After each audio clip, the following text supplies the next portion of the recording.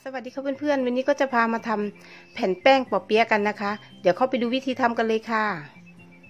แป้งอเนกประสงค์นะคะ 250 กรัมค่ะ แป้งมันสำปะหลังนะคะ 1 ช้อนโต๊ะค่ะ เกลือครึ่งช้อนชาค่ะ น้ำเปล่านะคะ 200มิลลิลิตรค่ะ ต่อไปนะคะแล้วก็มาผสมแป้งนะคะ แป้งมันนะคะ เกลือค่ะ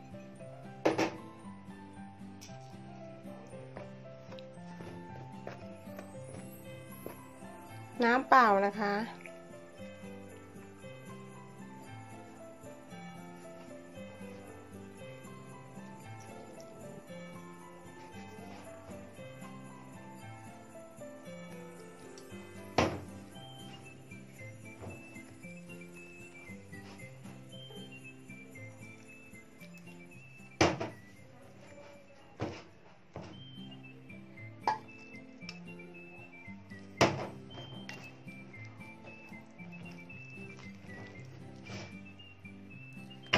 ใช้มือนะคะนวดต่อไปค่ะ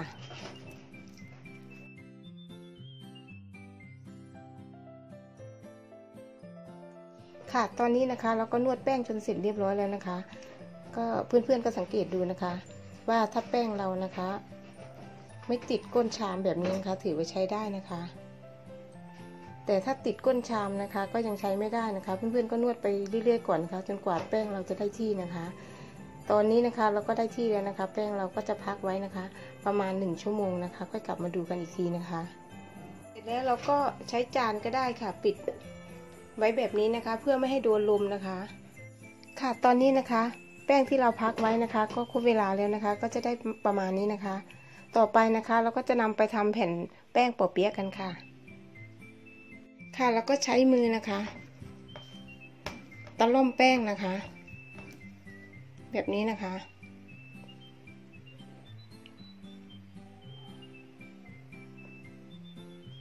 ค่ะนำกระทะนะคะมาตั้งไฟนะคะ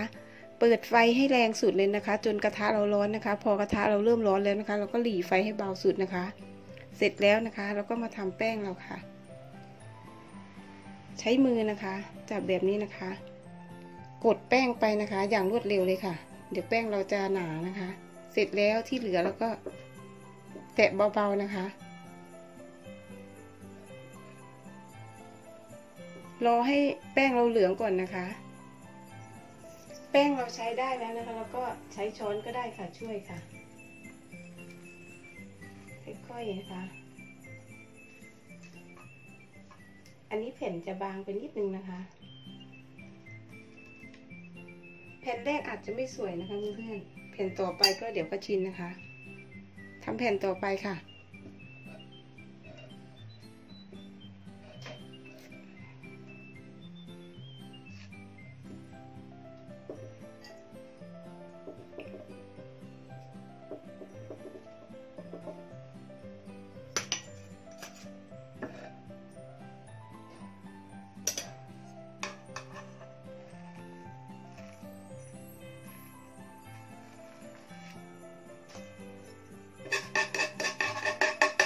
ษนะคะ ทิ้งให้หมดเลยนะคะทำชิ้นต่อไปค่ะ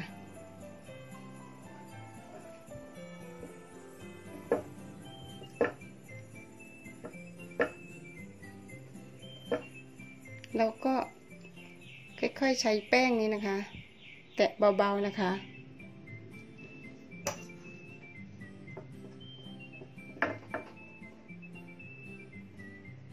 แผ่นอาจจะไม่ค่อยสวยเท่าไหร่นะคะ เพราะว่าเราก็เพิ่งทำครั้งแรกนะคะก็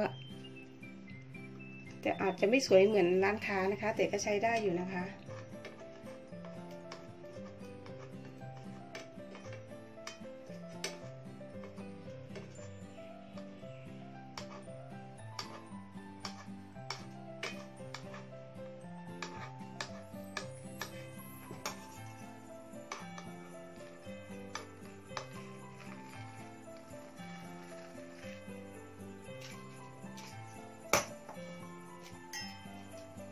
ทำแผ่นต่อไปค่ะ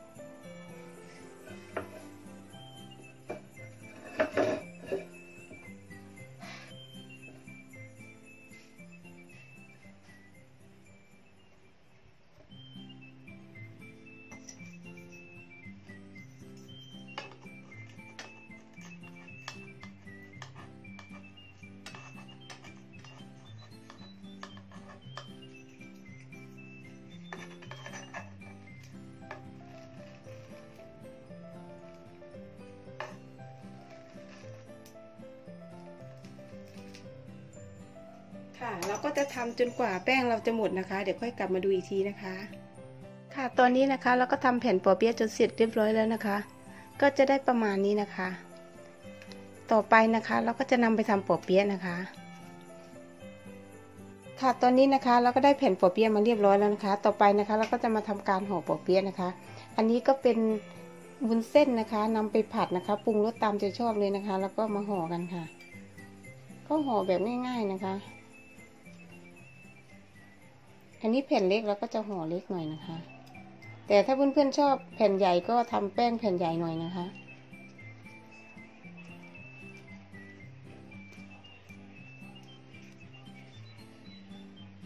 ค่ะ เดี๋ยวรอดูตอนทอดเลยนะคะ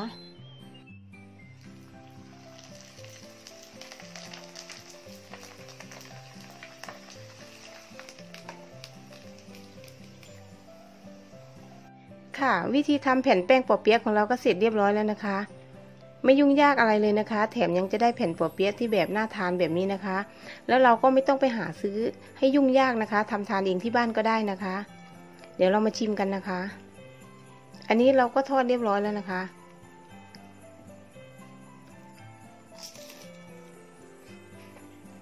แป้งนะคะกรอบมากๆเลยค่ะเพื่อนๆ ถ้าเพื่อนๆจะทำทานนะ ก็ทำได้เลยนะคะ ยังไงก็ลองทำดูนะคะ คลิปนี้ขอตัวลาไปก่อนนะคะ เจอกันคลิปหน้านะคะ สวัสดีค่ะ บ๊ายบาย